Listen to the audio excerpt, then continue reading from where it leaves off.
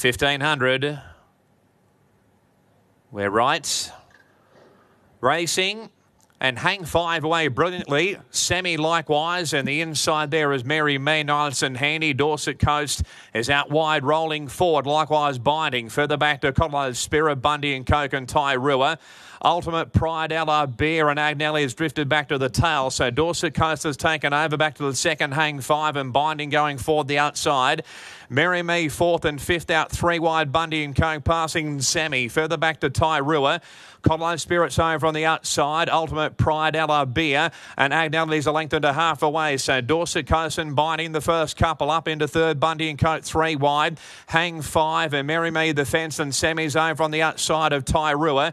Codlo's Spirit, third last, the outside's Beer, further back to Ultimate Pride, and Agnelli's a length and a half away. So Dorset Coast at the 600 metres marker, just in front here from Binding. Bundy and Coker's being wide, three wide, Semi's coming even deeper.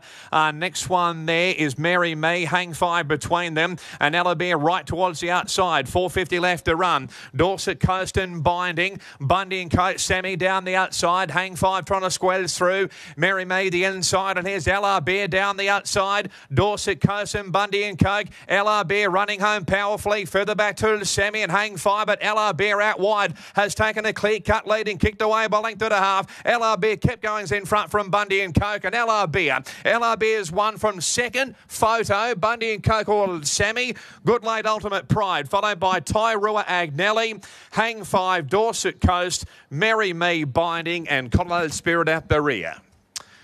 Al Aabir has won the final event, number eight. Damien Thornton for Chris Waller. Good go, the miners here. Bundy and Coke, Sammy and Ultimate Pride. Which way will this go for the second? Sammy.